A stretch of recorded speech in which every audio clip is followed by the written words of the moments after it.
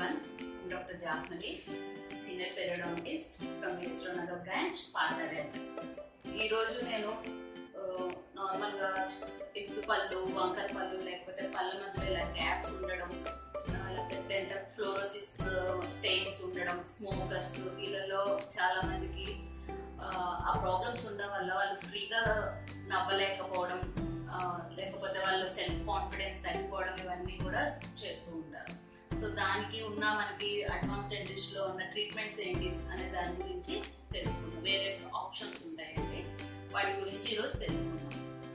ఇవి ఎక్కువగా ఎత్తు పళ్ళు వంకర పళ్ళు అనేవి ఎక్కువ చిన్నపిల్లల్లో ఫోర్టీన్ ఫిఫ్టీన్ ఏజ్లో ఎక్కువ గమనించుకున్నట్లయితే వాళ్ళు థమ్సకింగ్ హ్యాబిట్ లేకపోతే నాలుగుతో పళ్ళను ముందుకు నెట్టడం ఇలాంటివి అలవాట్లు కొన్ని ఉంటాయండి. వాటి వల్ల వీళ్ళకి ఈ ప్రాబ్లమ్స్ అనేవి రావద్దు వస్తుంటాయి.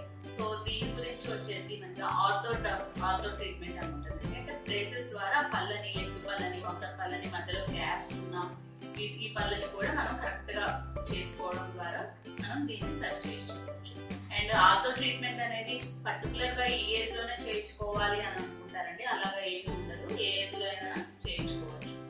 దానికి మెయిన్ కావాల్సింది ఎముక సపోర్ట్. బోన్ సపోర్ట్ బాగున్నప్పుడు అది ఈవెన్ ఫార్టీ ఫిఫ్టీ ఇయర్స్లో కూడా చేసుకోవచ్చు కాకపోతే ఈ ఆర్థర్ ట్రీట్మెంట్ అనేది కొంచెం టైం టేకింగ్ ప్రాసెస్ కాబట్టి చాలా మంది అవాయిడ్ చేస్తూ ఉంటారు ఈ ఆర్థర్ ట్రీట్మెంట్ చేయించుకోవడానికి. అలాంటి వాళ్ళకి ఏదైనా మిడిల్ ఏజ్ పర్సన్స్కి పళ్ళ మధ్యలో ఎక్కువ గ్యాప్స్ ఉండడం వల్ల నవ్వినప్పుడు చిగుళ్ళు ఎక్స్పోజ్ అవడం లేకపోతే పళ్ళు చిగుళ్ళు అరిగిపోయి ఉండడం వల్ల వాళ్ళు ఫ్రీగా మాట్లాడలేకపోవడం స్మైల్ చేయలేకపోవడం ఇవన్నీ జరుగుతూ ఉంటాయి.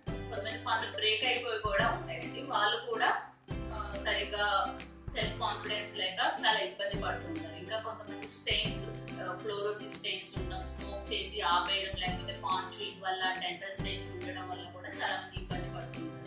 ఇలాంటి వాళ్ళందరికీ కూడా స్మైల్ డిజైనింగ్ అనే ప్రాసెస్ ద్వారా మనం ఆ విధానం ద్వారా ఆ పళ్ళని కరెక్ట్గా ఒక లెవెల్లోకి తెచ్చి వాటి మీద క్యాపుల ద్వారా కూడా వాళ్ళకి తిరిగి ఆ స్మైల్ ఇవ్వడం లేకపోతే వాళ్ళ కాన్ఫిడెన్స్ ఇవ్వడం కూడా జరుగుతుంది. ఈ స్మైల్ డిజైనింగ్ అనేది ఏంటంటే ఇలాగా మనకి లో ఏదైనా ప్రాబ్లం ఉన్నా లేకపోతే ఇరిగిపోయిన పళ్ళ మధ్యలో గ్యాప్స్ ఉన్నా కూడా ఈ స్మైల్ డిజైనింగ్ అనేది అడ్వైస్ చేయడం జరుగుతుంది.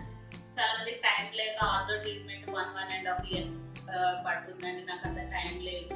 నాకు చాలా త్వరగా ట్రీట్మెంట్ కావాలి అన్నది వాళ్ళకి ఈ స్మైల్ డిజైనింగ్ అనేది చాలా యూస్ఫుల్గా ఉంటుంది. ఈ స్మైల్ డిజైనింగ్ విధానంలో ఏం చేస్తామంటే ఆ పళ్ళ మధ్యలో ఉన్న ఆ గ్యాప్స్ని ఈక్వల్గా డిస్ట్రిబ్యూట్ చేసి మనకి గ్యాప్స్ ద్వారా సరి చేయడం జరుగుతుంది. సో ఫ్రెండ్స్ ఎప్పుడైనా ఇలాగా స్మోకర్స్ కానీ లేకపోతే ఫ్లోరోసిస్ పెయిన్స్ ఉన్న వాళ్ళు లేకపోతే పళ్ళ మధ్యలో బాగా గ్యాప్స్ ఉన్నాయండి ఇబ్బంది పడుతున్నాం తిరుగుతుంది అని అని అనుకునే వాళ్ళు ఖచ్చితంగా ఆ ప్రాబ్లమ్కి సొల్యూషన్ కోసం డెంటిస్ట్ని సంప్రదించి ఈ స్మైల్ డిజైనింగ్ విధానం ద్వారా పళ్ళని సరి చేయించుకోవచ్చు. మన పాత డెంటల్